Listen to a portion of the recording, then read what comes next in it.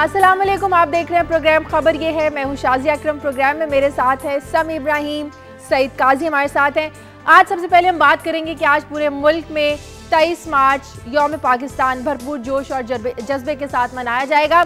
आज ही के दिन मीनार पाकिस्तान लाहौर में एक बहुत बड़े जलसे में खिताब किया गया। कायद अजम मोहम्मद अली जना ने, जिसमें बर सग़ीर के मुसलमानों के लिए एक अलग रियासत, एक अलग मुल्क और उनके हकूक़ की बात की गई। जलसे तो आज भी मीनार पाकिस्तान में बहुत होते हैं, लेकिन शायद आज उनके मकासद बदल गए हैं। आज इतने अरसे के बाद क्या पाकिस्तानी आवाम को वो सब कुछ मिला है? क्या हम वो मकासद हासिल करने में कामयाब हुए हैं? पाकिस्तान के आवाम को सेहत, तालीम, रोज़गार और इंसाफ आज के दिन इतने अरसे के बाद कितना मैसर है इस पर बात करेंगे। साथ ही हम बात करेंगे कि आखिरकार चीफ जस्टिस इफ्तार मोहम्मद चौधरी ने भी ये कह ही दिया है कि हमें इल्म नहीं, हमें मालूम नहीं कि बलूचिस्तान के मामले को इतनी अहमियत क्यों नहीं दी जा रही। उन्होंने कहा कि सारी सूरत हाल के जिम्मेदार सियासतदान हैं। सूबों में हमें कहीं हुकूमती रेट नज़र नहीं आ रही, जिसकी बुनियादी वजह जो उन्होंने बयान की वो है बल्दियाती निज़ाम का ना होना। उन्होंने कहा कि अगर एक आमिर अपने दौरे हुकूमत में बल्दियाती निज़ाम करवा सकता है तो जमहूरी हुकूमत क्यों नहीं करवा सकती? तो क्या सवाल यह है कि सूबों के जो मसाइल हैं, इनका जो हल है,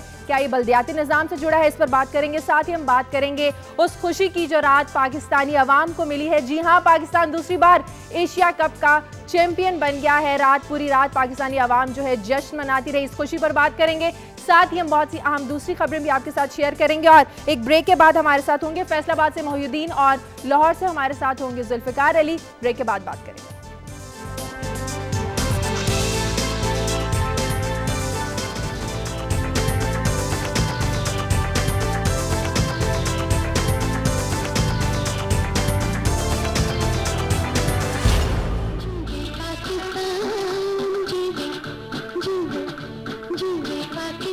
ब्रेक के बाद खुश आमदीद प्रोग्राम में आप हमें कॉल भी कर सकते हैं। आज तेईस मार्च है, इस हवाले से कोई बात करना चाहें, रात को पाकिस्तानी टीम मैच जीती इस खुशी को हमारे साथ आप शेयर करना चाहें, इसके लिए आप हमें कॉल करें, आपकी भेजी गई ईमेल्स भी आपसे शेयर करेंगे, इस पर बात करेंगे। लेकिन सबसे पहले कुछ अहम और भी खबरें हैं। समी इब्राहिम साहब के पास और सईद काजी साहब के पास पहले ये आपको बता दें। जी समी साहब। शाजिया आपने ज़िक्र किया योम पाकिस्तान का और कहा कि आज देखेंगे कि पाकिस्तानियों को क्या मिला।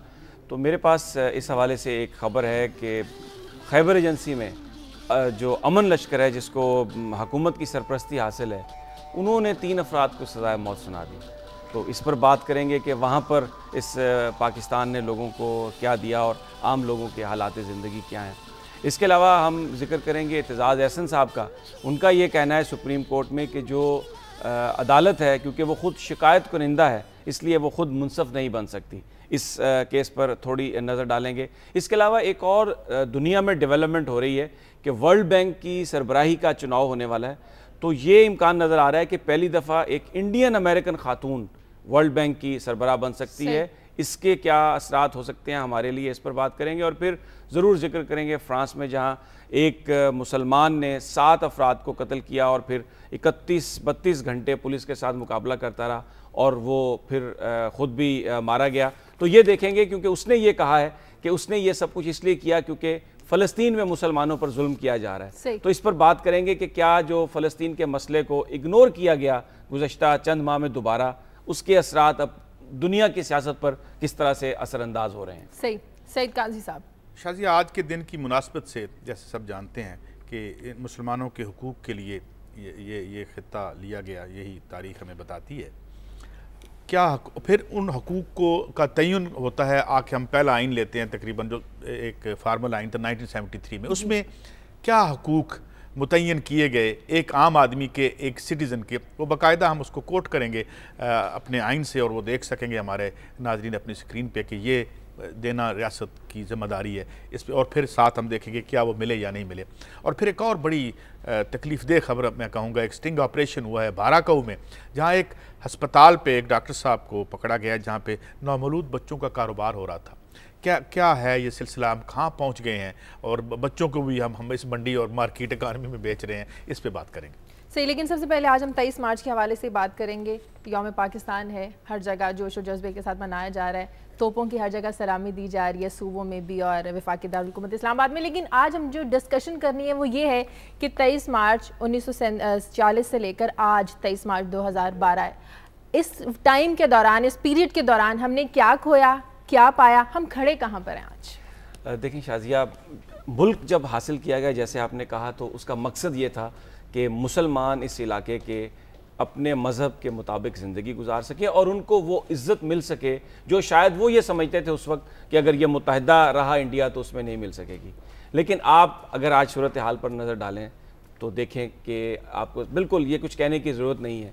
क्या इस वक्त यहाँ पर जो रहने वाले लोग हैं वो इज़्ज़त से ज़िंदगी गुजार रहे हैं? क्या उनके पास कोई रोज़गार है? क्या उनके घरों में बिजली है? क्या उनके घरों में गैस है? क्या उनको हेल्थ की फैसिलिटी है? क्या उनके बच्चे तालीम हासिल कर रहे हैं और फिर तालीम हासिल करने के बाद क्या उनके पास कोई रोज़गार के मौाक़े हैं? अभी आपने कहा, और मैं ख़बरों में भी देख रहा था कि तोपों की सलामी दी जा रही है। मुझे नहीं समझ आ रही कि ये तोपों की सलामी किसको दी जा रही है। क्या ये उन नाकामियों के लिए तोपों की सलामी है? आज भी चौंसठ साल गुजरने के बाद पाकिस्तान में रहने वाले लोग अपने बुनियादी हकूक़ से न सिर्फ़ महरूम हैं, उनके लिए स्ट्रगल कर रहे हैं। और शाजिया, मैं मायूसी नहीं फैलाना चाहता, लेकिन हकीकत यह है कि दूर दूर तक हमें उम्मीद की कोई किरण नज़र इसलिए नहीं आती कि जिन लोगों ने ये काम करना है उन लोगों को शायद अपनी जिम्मेदारियों का अदराग नहीं। और लोग आग में जलते जलते इस तरह से जल रहे हैं कि अब अपनी ज़िंदगियों के लिए अपने ख़ानदानों की ज़िंदगियों के लिए कोई अपने गुद्दे बेच रहा है। और नौजवान पिस्तौलें लेके बाहर निकल रहे हैं डकैतियाँ कर रहे हैं। ये है पाकिस्तान। तो दिन ब दिन हम पीछे जा रहे हैं बजाय आगे बढ़ने काजी साहब मेरा तो ख्याल है कि बजाय आगे जाने के हम बहुत पीछे चले गए। हालात शायद उससे भी ज़्यादा बुरे हों जो आप बता रहे हैं। मगर मैं ये कहता हूँ कि ये जो जो उम्मीद की किरण है, वो कभी मरती नहीं। इंसान एक अजीब व गरीब खुदा ने मखलूक बनाई है कि वो एक इनक्रेजिबल ऑप्टिमिस्ट है कि वो लड़ता है। अगर आप उसका सफ़र सियारे पे देखें, सात हज़ार साल से जो जो वो इस पे इस पे रिहाइश पजीर है इस ज़मीन पे, उसने कैसे बदला इसको? इसके खदो खाल तो देखें अगर आ, आ, आप देखें ऊपर से फ़िज़ा से देखें ये स्काई स्क्रैपर्स ये हवाई जहाज़ ये क्या थे? ये सौ दो सौ तो मैं ये समझता हूँ कि एक तो हम ऑप्टिमिस्ट रहेंगे। और दूसरी बात जो मैंने ये कही थी और उसे मैं दोबारा दोहरा देता हूँ कि जो सबसे काला पैर होता है रात का सबसे तारीख पैर होता है वो तब होता है जब रोशनी की किरण फूटनी होती है। जो हमें सब कुछ नज़र आ रहा है ये क्या है? ये बेसिकली नाहली है इस रूलिंग एलीट की।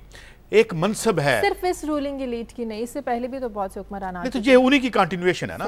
ये उसका तसलसल है। मुराद ये है कि ये खत्े ज़मीन दिया गया और इन जब आ, रूलिंग क्लास क्या करती? आप उसको ज़रा पैदावार उसको तफवीज़ कर देते हैं कि उसके कुछ फ़राइज़ होते हैं। मैंने एक दफ़ा इंटरव्यू करा था खुर्शीद कसूरी साहब का। तो मैंने कहा हजूर बात यह है कि ठीक है रूल करना रूलिंग क्लास का हक होता है मगर उसके कुछ फरीजे होते हैं। फरीजे क्या है? कि आबादियों को एक बड़ी बुरी भली ज़िंदगी देते देती रहे।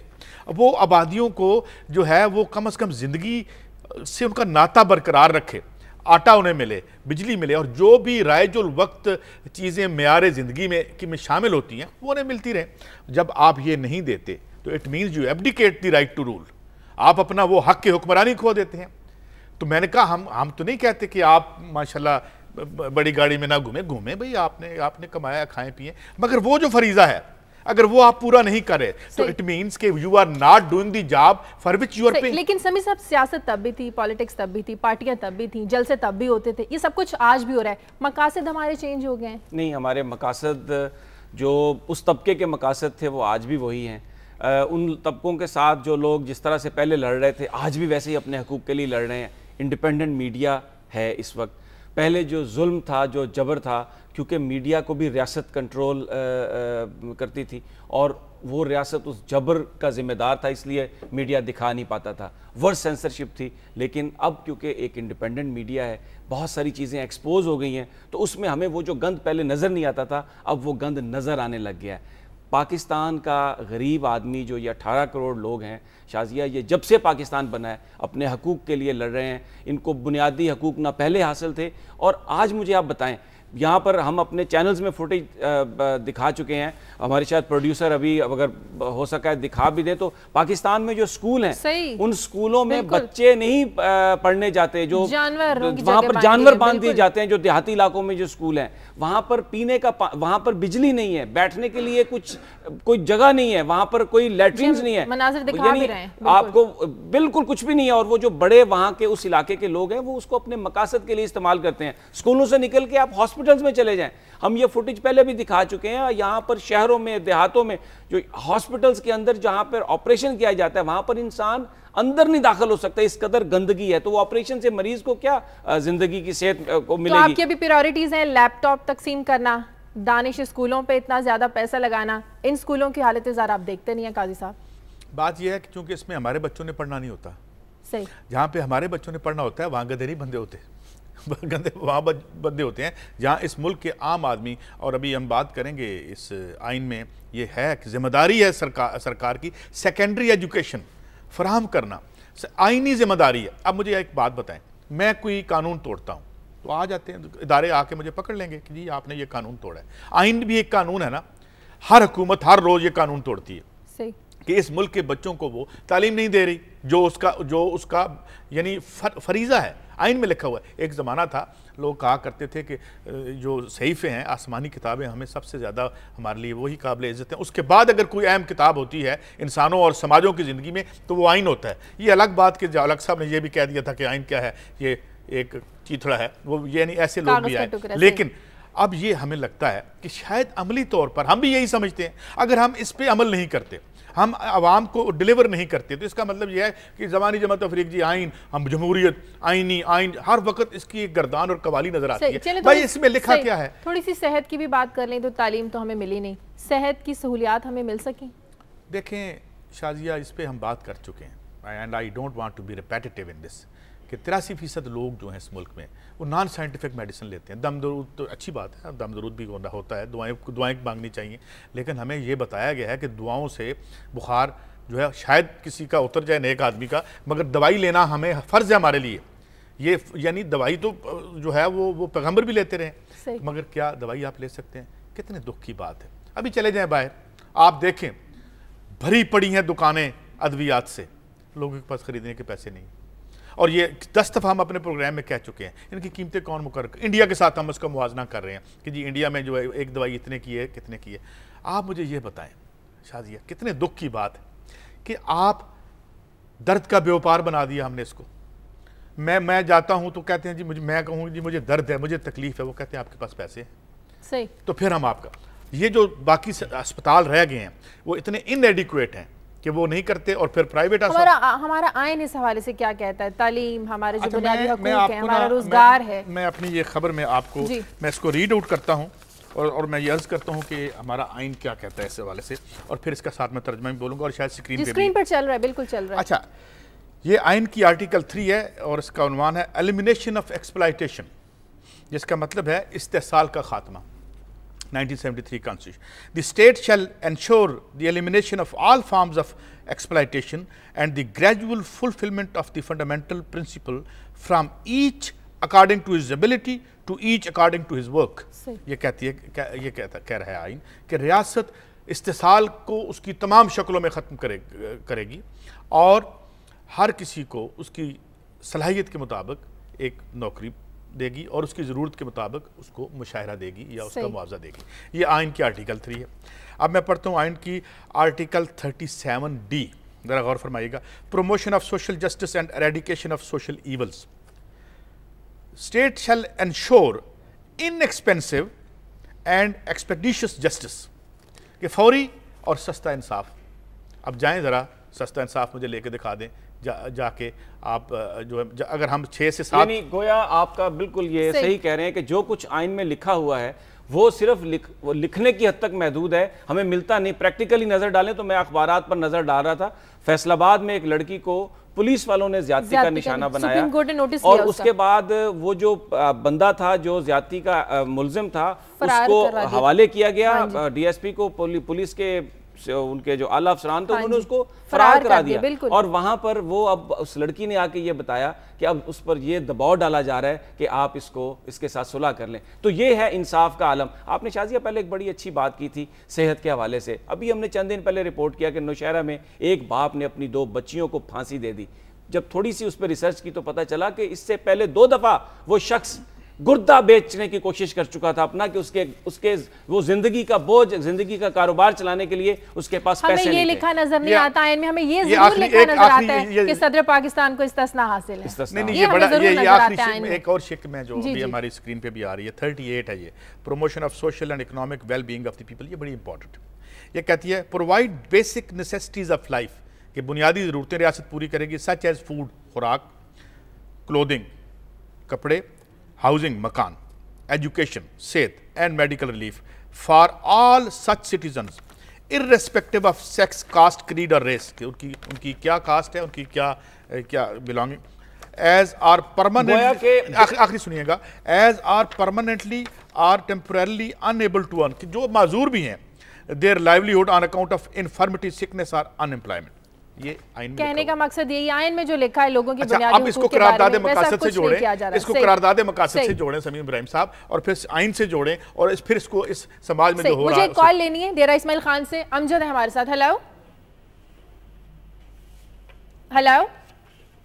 मुझे लगता है कॉल कट गई है। जी आप हम ये बात मैं ये कह रहा था कि ये ये ये ये जो है किसी भले आदमी नहीं लगता है हमारा ये आइन लिखा है। इसमें जहाँ इतनी डिस्टॉर्शन आई आज मैं देख रहा था जब जिसको मैं इस प्रोग्राम में शामिल करने के लिए तो फिर उसमें वो भी थी जो जियाउल साहब ने की और बाकी आइन के साथ जो खिलवाड़ होता रहा। मगर ये चीज़ें आज भी मौजूद हैं। तो इन्हीं सारी सूरत हाल से मजबूर होकर समी साहब चीफ जस्टिस ने भी आखिरकार कह ही दिया।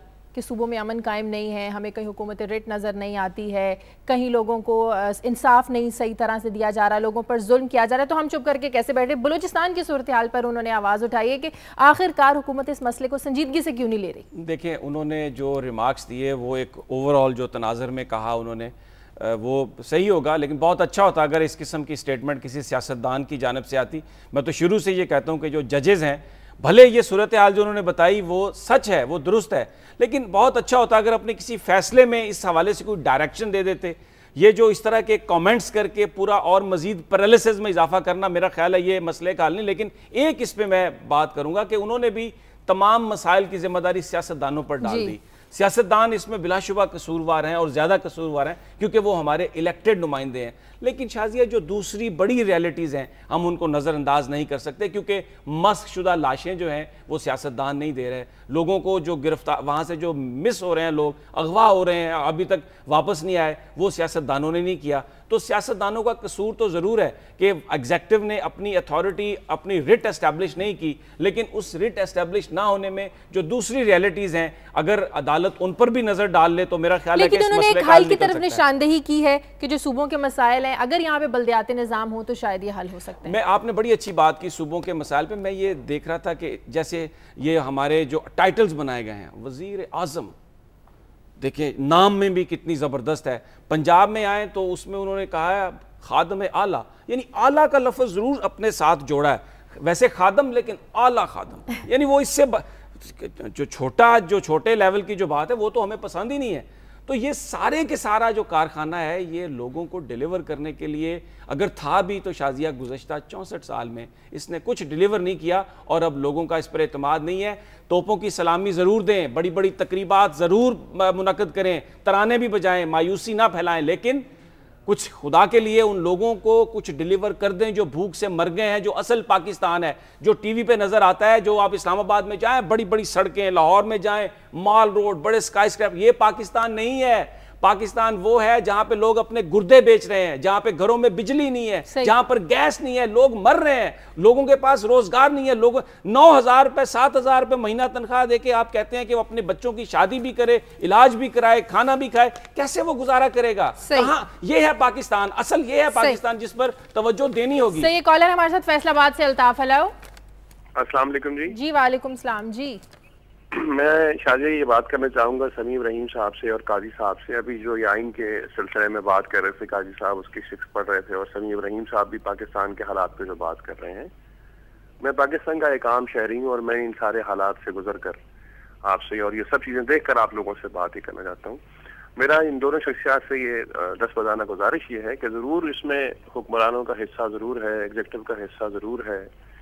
अतिया का हिस्सा भी ज़रूर है जो अपना अपना काम सही तौर पर पूरा नहीं कर पा रहे हैं। लेकिन इसमें पाकिस्तानी अवाम का भी मैं समझता हूँ कि उतना ही कसूर है कि वो सही वक्त पर सही फैसला करने से भी वो अपने उससे काम नहीं लेते हैं। आप ये देख लीजिए कि जिस वक्त हम जमहूरियत की बात करते हैं, दुनिया के महजे मुल्कों में जहाँ जमहूरियत पनप गई है, वहाँ अगर आप उनके इलेक्शन के दिन का टर्न आउट देखें तो वो सत्तर अस्सी फ़ीसद होता है। और हमारी आवाम उस दिन छुट्टी मना लेती है पिकनिक मना लेती है बच्चों को लेकर पार्कों में चले जाते हैं और तीस चालीस परसेंट टर्नआउट के ऊपर हुकूमत बना देते हैं। साठ परसेंट लोग तो उसमें हिस्सा लेना चाहते ही नहीं है। और उसके साथ जब आप हिस्सा नहीं लेंगे तो फिर ऐसी ही अदलिया बैठेगी जिसको सिर्फ़ एक खत नज़र आ रहा है जिनको लाखों केस नज़र नहीं आते हैं। जिनको सिर्फ़ ऐसे हुक्मरान नज़र आते हैं जिनको इस्लामाबाद नज़र आएगा या लाहौर नज़र आएगा। सिर्फ़ लैपटॉप देना चाहेंगे उनको कुछ नज़र नहीं आएगा। बिल्कुल। हमें ये सहूलतें नहीं मिलेंगी। हमें ये सहूलतें नहीं मिलेंगी और हमारा मीडिया भी सिर्फ़ और सिर्फ़ इस बात के ऊपर ज़ोर देगा कि आज चीफ जस्टिस ने ये कह दिया वज़ीर आज़म ने ये कह बहुत दिया। बहुत शुक्रिया फैसलाबाद से अल्ताफ। इस पर हम ज़रूर बात करेंगे। हम पहले भी अपने प्रोग्राम्स में यही बात करते रहे कि अवाम जब तक सही वक्त पर सही फैसला उन्होंने- नहीं करेगी उन्होंने जो बात की है ना सही। वो बड़ी ज़बरदस्त बात की है। बात करते हैं मुझे ब्रेक लेनी है। ले पहले ब्रेक ले लें ब्रेक के बाद वापस आएँगे तो उस पर बात करेंगे टेक अ ब्रेक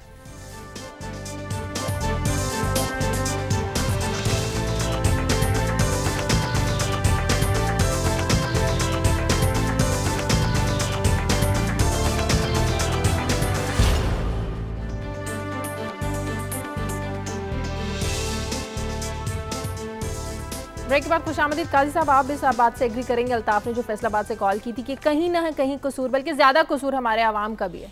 मैं इससे इतफाक नहीं करता। नहीं करते। इसलिए कि अगर आप तारीख में देखें तो कौन सा वो बड़ा हिस्टोरिकल मोमेंट था जिसमें अवाम ने आके कुर्बानियाँ नहीं दी? अभी बेनज़ीर उतरी हैं 2007 में दो ढाई सौ अवाम मरे हैं। हमें ये शहादतें तो नज़र आती हैं वो शहादतें नज़र नहीं आती। और वो जो जूतियाँ इकट्ठी की गई थी उनमें कोई भी बंद जूती नहीं थी हवाई चप्पलें पहनी हुई थी लोगों ने। बात यह है लोग निकलते हैं। अभी मैं एक सर्वे का आपको हवाला देता हूँ। फाइनेंशियल टाइम्स में एक सर्वे कुछ अर्सा पहले छपा जिसमें ये कहा गया कि क्यों आखिर यूरोप में वोट वोटर्स का टर्न आउट नीचे आ रहा है? तो उन्होंने एक सर्वे किया उसमें बताया गया कि जनाब लोग ये समझते हैं कि हमारे वोट से कुछ फ़र्क नहीं पड़ता। ये यूरोप और अमेरिका की मैं बात कर रहा हूँ। और यहाँ यहाँ क्या होता है कि यहाँ एक वैगन का जो किराया, एक स्टेशन, स्टाफ से दूसरे स्टाफ तक पंद्रह रुपये हो चुका है। वो बेचारे वो तो अपने काम पे आने से आजिज हैं। दिन में उन्हें जित, जितनी उनका इनकम इनकम का मिजानिया है बात यह है कि बड़ा इफेक्टिवली ये यहाँ पे एहतमाम कर दिया है मैं तो ये कहूँगा कि ये वोट देने ही ना जाएँ और तीस परसेंट में काम हो और ये आ जाए। और फिर आखिरी बात कि आखिर वो किसको दें? ये सारे तो कुछ ऐसे हैं जो मुसलसल गवर्नमेंट में हैं कुछ ऐसे हैं जो तीन तीन बार होके गए हैं। इन्होंने क्या किया? क्या कर दिया अवाम के लिए? क्या तब्दीली की अच्छा, ज़रूरत एक मैं मेरा थोड़ा सा यहाँ पर आपसे इख्तलाफ है। ओवरऑल तो ये ठीक है कि चॉइसेस बहुत कम होती हैं लोगों के पास लेकिन मैं कहता हूँ कि जो लोगों की चॉइसेस का जो अमल है, वो सिर्फ़ उस वक्त शुरू नहीं होता जब इलेक्शन वाले दिन उन्होंने वोट डालने जाना होता है। ये तमाम लोग किसी न किसी पार्टी के रुकन हैं। अल्ताफ ने बहुत सही बात की जिन्होंने फैसलाबाद से कॉल की कि अगर ये पार्टियों के वर्कर अपनी पार्टियों के अंदर रेजिस्टेंस करें और उस वक्त जब टिकट दिए जा रहे हो पार्टी क्यादत को ये बावर कराएँ कि अगर आपने इस आदमी को वोट दिया तो हम तो साथ हम नहीं होंगे। यानी ये अपने हकूक के लिए आवाम को आगे आना होगा। रिस्पॉन्सिबिलिटी जो है उसमें बड़ी आवाम की है पार्टियों के अंदर पहले और फिर इलेक्शन वाले दिन आप आए और उन्हीं जो सही लोग हैं उनको वोट दें और अच्छा, ज़्यादा तादाद में वोट दें। काश अच्छा। इतनी मिसाली सूरत हाल होती पार्टियों के अंदर। आखिर में ये होता है वर्कर भी प्लाट लेने के लिए भाग रहे होते अच्छा प्लाट नहीं लगाने वाले प्लाट हमेशा बड़ों के अजीजों अकार में लिए हैं। कोशिश होती है वर्कर कोशिश एक होती मेल है। तब्दीली का नारा लगाने वाले इमरान खान के हवाले से। समंदर खान ने की है खुशदार से। जनाब, ऐसी क्या परेशानी हो गई कि इमरान खान ने बताए बगैर तेईस मार्च का जलसा जो आज उन्होंने कोयटा में करना था, उन्होंने कैंसिल कर दिया, बताया भी नहीं और सियालकोट में कर रहे हैं? इस बात की उन्हें वजह समझ नहीं आई। नहीं, ये एक तो बताए बगैर उन्होंने नहीं की बात। शायद समंदर खान साहब को वो, पता नहीं है ज़्यादा। बहुत पहले तरीके इंसाफ ने अनाउंस कर दिया था कि वो सियालकोट में जाएँगे और शायद उसकी वजह जो कोयटा की लॉ एंड ऑर्डर सिचुएशन है। मेरा ख्याल है ये एक दुरुस्त फैसला है कि जहाँ पर अगर तकरीबकारी हो सकती हो कुछ वतन दुश्मन अनासर इस तरह के जो फिर रहे हैं बम लेके गोलियाँ लेके और कई क्राउड पे तो बड़ा आसान करना तो चाहिए मेरा ख्याल है ये इमरान खान का सही फैसला है कि उन्होंने अच्छा फैसलाबाद चलते हैं मोहिउद्दीन के पास। मोहिउद्दीन फैसलाबाद में तो हड़ताल एहतजाज इसी तरह की खबरें पिछले कुछ काफ़ी अरसे से आ रही हैं कुछ तब्दीली वहाँ पर नज़र नहीं आ रही। तब्दीली शायद ये कैसे आ सकती है? जिस तरह अभी समी साहब बात कर रहे थे कि लोगों को उनके बुनियादी हकूक नहीं दिए जा रहे तो फिर लोग पहले तो मुजाकरात का रास्ता अपनाते हैं। जब मुजाकरात नाकाम होते हैं तो फिर यही रास्ता है हड़ताल का।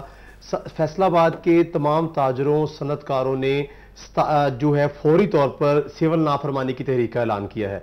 आज के दिन ये बात करते हुए बड़ा अजीब सा महसूस हो रहा है कि करारदाद पाकिस्तान पे बात कर रहे हैं और बात ये हो रही है कि फैसलाबाद के जो सब बड़ा इंडस्ट्रियल सिटी है, यहाँ के लोग अब बिल जमा नहीं करवाएँगे। बिजली की बिलों, जो कीमतों में इजाफा किया गया है, उसके खिलाफ एहतजाज हुआ है।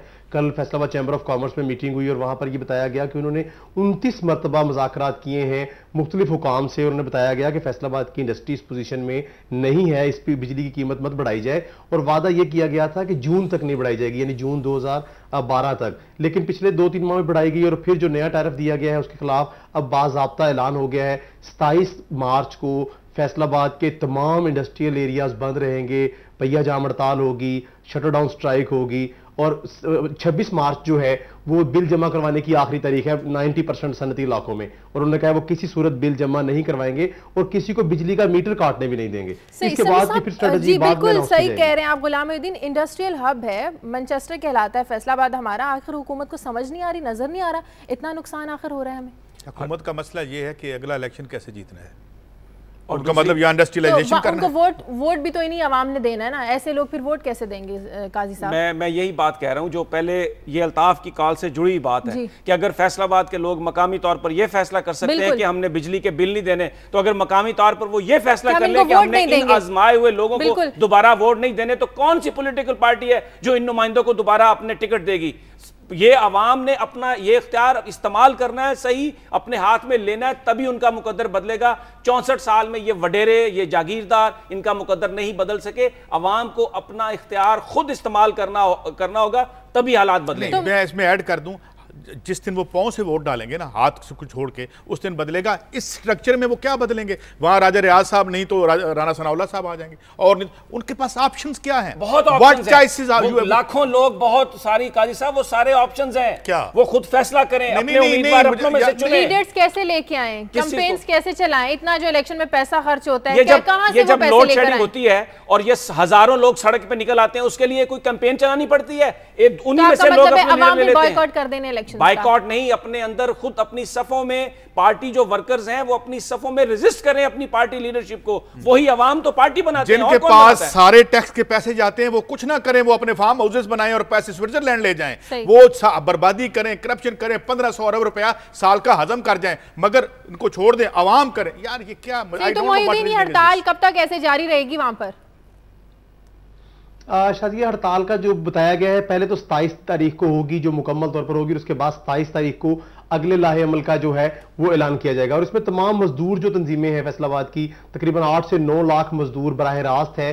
जो टेक्सटाइल से और दीगर इंडस्ट्री से वाबस्ता है वो भी इसमें शामिल होंगे। तो अभी तो ये मुजाकरात की तरफ़ नहीं आएँगे। पहले इतनी बार मुजाकरात का कहा जा चुका मुजाकरात कामयाब नहीं हुए मैं मोहुद्दीन मैं यही बात ये कह रहा हूँ कि यही मजदूर तंजीमें जो इस वक्त लाहमल तैयार कर रही हैं और जिन्होंने कहा है कि हम बिल नहीं देंगे और एक बड़ा एजिटेशन लेके आएँगे अगर यही मजदूर तंजीमें ऐलान कर दें कि हम इलेक्शन में भी अपने नुमाइंदे खड़े करेंगे तो क्या फैसलाबाद के अवाम उन्हें वोट नहीं देंगे?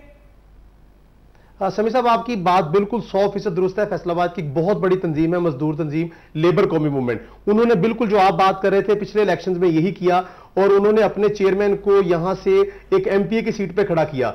तमाम पॉलिटिकल पार्टीज़ ने ज़ोर लगा लिया उनको बिठाने का और वो फिर भी पंद्रह हज़ार वोट ले गए। उस वक्त में जिस वक्त ये जो वज़ीर कानून समेत और राजा रियाज साहब उस हल्के में जाके दस दस मरतबा जलसे किए और दस दस मरतबा उनकी मिन्नतें की कि वो अपने उम्मीदवार को बिठा लें लेकिन वो नहीं हुआ। इस मरतबा भी हमें भी यही नज़र आ रहा है। अगर आप बात करें कि नाइनटी सेवन की बात करें तो फैसलाबाद सारा एक ही जमात के पास था। उसके बाद डिवीज़न आती गई। ज़रूर ऐसे होगा लोग अपने फैसले ज़रूर खुद करेंगे। अगर एक मजदूर तंजीम फैसला करके अपना उम्मीदवार खड़ा कर सकती है तो शाजिया समी साहब की बात दुरुस्त है। मुस्तकबिल में ऐसे हालात ज़रूर होंगे। सही। लाहौर चलते हैं। जुल्फ़िकार के पास। जुल्फ़िकार लाहौर में भी अब हमें कभी उस एहतजाज करते नज़र आते हैं, कभी हमें रेलवे मुलाजमीन एहतजाज करते हुए नज़र आते हैं, कभी तालब इम एहतजाज करते हुए नज़र आते हैं। आजकल जो एहतजाज की सूरत हाल है, वो पेंशनर्स की जानब से देखने में आ रही है, जो रेलवे पेंशनर्स हैं, उन्हें पेंशन नहीं मिल रही। जी शादिया, बहुत शुक्रिया। असल में जो आज हमारे पास खबर है, वो इस बारे में है कि जो पाकिस्तान रेलवेज़ के पेंशनर जो एक बेचारा पिछले साल फौत हो गया था, उसके बाद एक अलग अकाउंट स्टेट बैंक में खोला गया।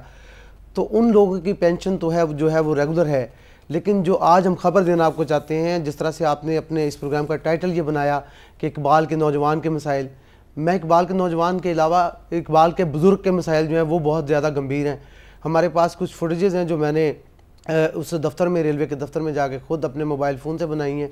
अगर वो दिखा दें तो इकबाल का जो बुज़ुर्ग जिस तरह से इस, दिखा रहे हैं जो इस शहर में उसके साथ हो रहा है वो आपको नज़र आ जाएगा कि ये जो खातून आपको स्क्रीन पर नज़र आ रही हैं इसका नाम सादिया है।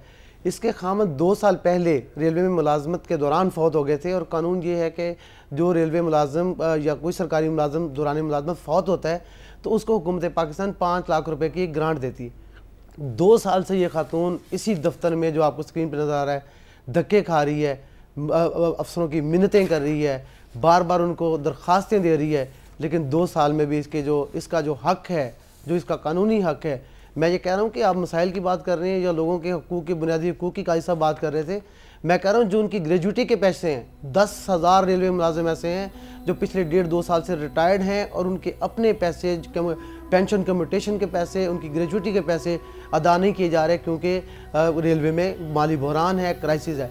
और उससे भी बड़ी बात शादी मैं आपको ये बताऊँ कि पिछले एक एक महीने से एक महीने पहले वजी अजम पाकिस्तान सैद यूसफ गिलानी साहब ने दो अशारिया सात अरब रुपए ऐसे ही हज़ारों मुलाजमीन के लिए सेंशन किए, उनकी मंजूरी दी और वजारत ख़जाना की एक दफ्तर में, एक दफ्तर से दूसरे कमरे में जाने में उस फ़ाइल ने एक महीना लिया है। और आज भी राजा राजा असद अमीन जो हैं, जो फेडरल सेक्रेटरी हैं स्पेशल सेक्रेटरी फाइनेंस हैं उनके दफ्तर में ये फ़ाइल पड़ी हुई है और ये लोग जो है तो वो धक्के खा रहे हैं। वो पैसे कहाँ गए जो इन लोगों के लिए कहा गया था कि लोगों को दिए वो पैसे अभी रिलीज़ ही नहीं हो सके। यानी एक वजारत खजाना के एक कमरे से दूसरे कमरे में जाने वाली उस फ़ाइल में एक महीना लग गया है और अभी भी उसके ऊपर एतराज़ात पे एतराज़ात लग रहे हैं।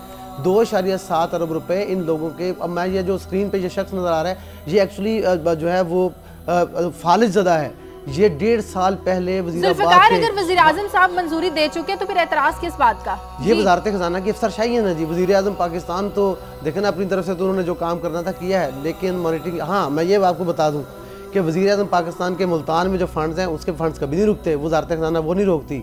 जो बेनजीर इनकम सपोर्ट प्रोग्राम के प्रोग्राम पैसे हैं वो वजी अजम का हुक्म जो है मेरा एक सवाल है जुल्फकार साहब मेरा आपसे ये सवाल है। जिन लोगों का आप ज़िक्र करें इंतहाई दिल गुदाज दास्तान है इन्हें हम ये मशवरा दे सकते हैं कि ये अपने हालात दुरुस्त करने के लिए सियासत में हिस्सा लेना शुरू कर दें जिनके पास रोटी खाने को नहीं है। ये कैसे ये इनको एम पी इलेक्शन लड़वाएँगे हम। काजी साहब मैं आपको ये कैसी मसल ये बिल्कुल ग्राउंड रियलिटी से हट के बात है। ये शख्स जो है जिसका नाम अब्दुल रशीद है ये वजीराबाद के बुकिंग क्लर्क है। डेढ़ साल पहले रिटायर्ड हुआ है। दौरान इसके दौरान इसको फालिज का हमला हुआ है। और फालिज ज़दा ये शख्स डेढ़ साल से इस दफ्तर के चक्कर लगा रहा है। कि आप ये समझते हैं वजीराबाद से ये रोज़ाना आए और जो उसके पैसे लग रहे हैं इसको इसके इसका बेटा रो रहा था मेरे सामने। मैं दूसरी जो खातून इसके घर गया हूँ। इसकी बेटी की शादी के दो बार। ये जो शख्स स्क्रीन पे है इसके इसको ये फालिज ज़दा है। जो दूसरी खातून मैंने दिखाई है इसकी बेटी के दो बार उन्हें शादी के दिन तय किए हैं लेकिन उनको ग्रांट नहीं मिली। दो बार शादी मिलती हुई है। तो काई साहब इनको आप इलेक्शन लड़ाना चाहते ये ये ये शाजिया ये जो है ये है पाकिस्तान। मुझे नहीं पता आज किसको 21 तोपों की सलामी दे रहे हैं। मुझे नहीं पता ये बड़ी बड़ी तकरीबात जो मुनद की जा रही हैं ये किस कामयाबी की खुशी में मुनद की जा रही हैं? ये है पाकिस्तान ये है वो लोग जो भूख से मर गए जिनको इग्नोर कर दिया जिन्होंने पाकिस्तान बनाया था किस लिए? कि ज़िंदगी इज़्ज़त से जी सकेंगे। जिनको ये वादा किया गया था कि आपको ज़िंदगी की तमाम सहूलियात दी जाएँगी और आप ज़िंदगी इज़्ज़त से गुजार सकेंगे। ब्रेक लेनी है। ब्रेक के बाद वापस आएँगे तो बात करेंगे क्या आज इस दिन को देखने के लिए हमने पाकिस्तान को हासिल किया था। ब्रेक के बाद और ब्रेक के बाद आपकी कॉल्स भी लेंगे।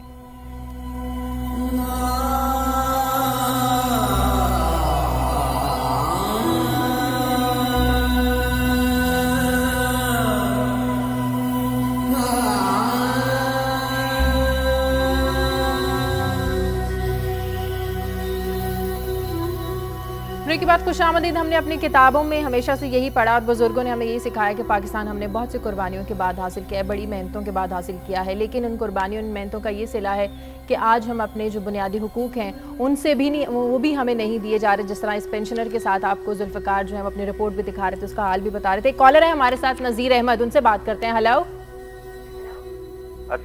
जी वालेकुम सलाम जी। शाजिया ये जो अभी दिखा रहे थे जुल्फकार आदमी जो दिखा रहा था लाहौर में पेंशनों के साथ जो हो रहा जी, है जी। तो ये जो प्राइम मिनिस्टर उनको ये बात नज़र नहीं आ रही है?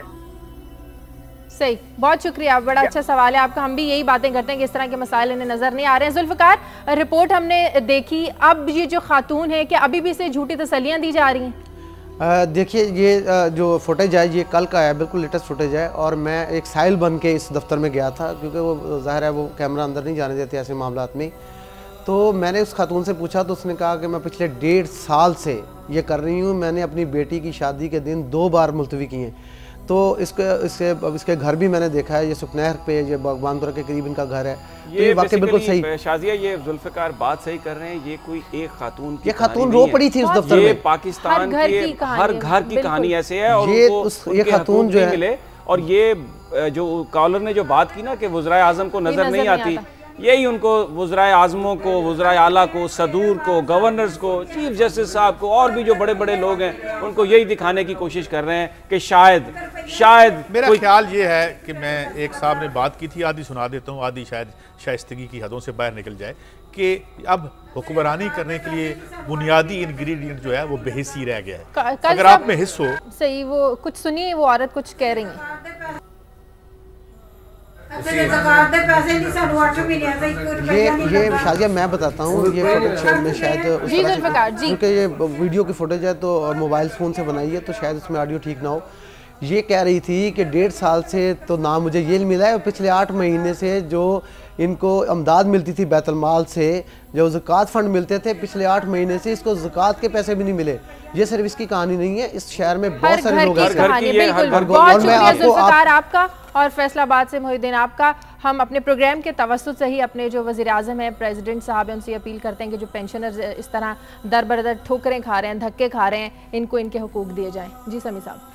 मैंने एक और ख़बर का ज़िक्र किया था जो पाकिस्तानियों के लिए बड़ी ज़रूरी है बताना कि वर्ल्ड बैंक एक ऐसा इदारा है जो जो मुख्तलिफ़ ममालिक को कर्ज़े भी देता है, हम भी लेते हैं। वहाँ पर अब एक इंडियन अमेरिकन पहली दफ़ा उसकी सदर बनने जा रही है। तो एक तरफ़ तो हम पाकिस्तान के अंदर इस तरह के हमारे हालात हैं जो अभी हम आपने दिखाए। दूसरी तरफ़ बाहर जो हमारे हमारे हमसाए हैं लेकिन जो हमारे दोस्त नहीं हैं वो तरक्की की उन मनाजिल को तय करते हुए जा रहे हैं। तो कहाँ जाकर काजी साहब, ये कहाँ जाकर ये बात रुकेगी सारी? समी इब्राहिम साहब ने वर्ल्ड बैंक और आईएमएफ की बात की, इंडिया ज़ाहिर एक बहुत बड़ी मीशत है। मुझे तो ये लगता है कि इन इदारों का एक ही काम रह गया है कि इस पूरी दुनिया में मिजरी फैला दें। इस तरह की औरतें जो हैं, उनको पैदा कर दें। अगर आप जोड़ के देखें, वो सारा माशी नज्म नस्क जो इन्होंने राइज कर रखा है यहाँ पर ये क्या करते हैं? ये इंसान के ये खून का कारोबार कर रहे हैं। अब ये ये एक औरत हमारे सामने आई और आज का दिन है सेलिब्रेशन का हमारी खुशी का दिन था। एक ज़मीन आज़ादी जिन जब जिनके पास नहीं है यानी ये इतना खुशी का दिन था एक तो वैसे और दूसरा हम हमारी टीम एशिया कप जीती लेकिन यकीन करें ये हालात देखे मुझे बताएँ आपका खुशी मनाने को दिल करता है? लेकिन मैं आपका हंसने को जी करता है? एशिया कप के हवाले से मैं एक बात करना चाहता हूँ कि कल मैं मेरा दिल खुश था कि हम जीत रहे हैं मगर वो जो हमारे सबक हम वतन हैं उनके चेहरे पर आँसू भी थे और मुझे ऐसा नहीं लगा जैसे यानी कोई किसी दुश्मन के साथ हम खेल रहे हो तो मुझे एक बात याद आ गई जो किसी ने, क्योंकि हमारे सबक हम वतन है तो वो किसी ने कहा था कि हम के ठहरे अजनबी इतनी मुलाकातों के बाद फिर बनेंगे आशना, इतनी मदारातों के बाद थे बहुत बेदर्द लम्हे ख़त्म दर्द इश्क के थी बहुत बेमेर सुबह मेहरबान रातों के बाद। तो मैं उदास भी हो गया और मुझे ये लगा कि हमने मैच जीता है तो उन्होंने हमारा दिल जीता उन्होंने हमारा दिल जीता है। लेकिन मैं इस लेकिन उन्हें भी अप्रिशिएट करना चाहिए नहीं मैं उन्हें बहुत अप्रिशिएट करता हूँ। लेकिन शाजिया मैं तो ये बात कहूँगा कि मुझे ऐसे लगा कि सैंतालीस में जो पाकिस्तान बना था जो असली पाकिस्तान था वो जीता। क्योंकि मशरकी पाकिस्तान जो था उसमें रहने वालों की तादाद मगरबी पाकिस्तान में रहने वालों से ज़्यादा थी, थी। तो दर हकीकत तो पाकिस्तान वो था जो चला गया। सही। बिल्कुल लेकिन हमें मुबारकबाद देनी अपनी पूरी टीम की तरफ़ से। खबर ये है कि टीम की तरफ़ से कि पाकिस्तान एशिया कप जीता लेकिन इसके साथ साथ जो बांग्लादेश की टीम है उसकी एफर्ट्स को भी हमें अप्रिशिएट करना है कि बहुत मेहनत के बाद बहुत जदोजहद के बाद और एक अच्छे खेल के बाद वो हारे हैं। इस तरह कहा जाए कि जो हार जीता ये खेल का हिस्सा ही है। उन्हें भी मायूस नहीं होना और इसी तरह मेहनत करके उन्हें भी आगे बढ़ना है। प्रोग्राम का वक्त खत्म हो गया। जाते जाते एक पैगाम आज के दिन के हवाले से यही है कि आज तजदीद अहद का दिन है। आज का दिन हमसे यही तकाजा करता है कि आज हमें फिर उन्हीं कुर्बानियों से दरगत नहीं करना चाहिए जो हमारे बुज़ुर्गों ने दी और आज का पाकिस्तान हमने हासिल किया। आज भी हमें मेहनत करनी है, आगे बढ़ना है और पाकिस्तान को तरक्की याफ्ता ममालिक सफ़ में लाकर खड़ा करना है और हर जगह पाकिस्तान का नाम रोशन करना है। हमें इजाज़त दीजिए फीडबैक दीजिए, खबर है Dunya T V dot T V पर अपना ख्याल रखिएगा। अल्लाह